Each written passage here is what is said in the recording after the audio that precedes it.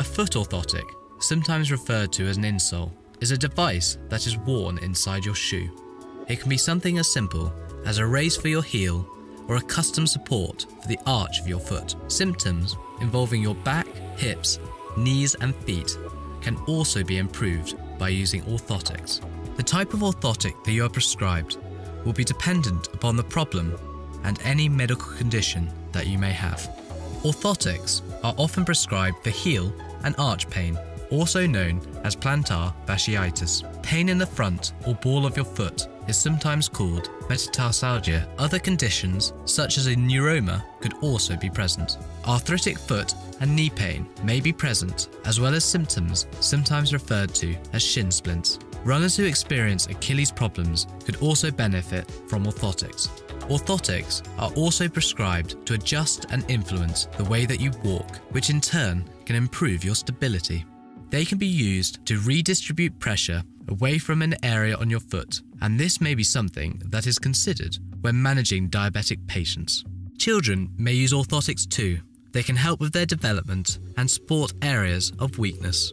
To provide an orthotic that is appropriate for you, the podiatrist will talk to you about the problem and ask about your medical history. They will assess your feet by checking the range of motion in your joints and the strength of your muscles in your legs.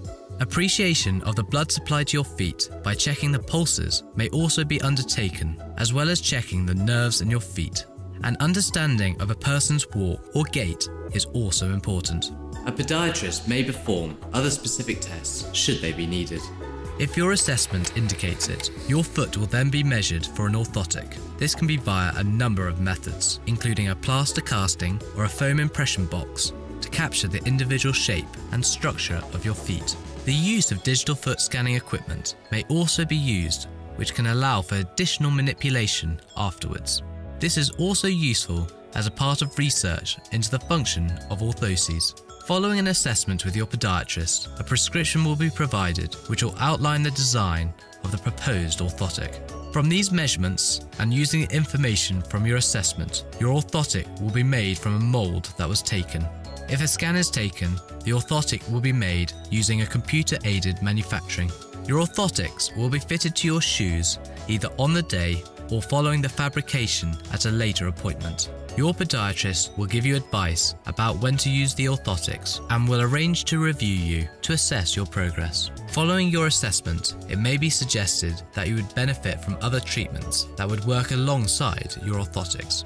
These may include stretching exercises or a cortisone injection in musculoskeletal conditions. For some problems that can be helped by an orthotic, you will need further investigations before the podiatrist can confirm their diagnosis, and these can include x-rays, ultrasound scans, or blood tests. The podiatrist will provide you with a treatment plan that will advise you on further investigations and interventions if they are needed.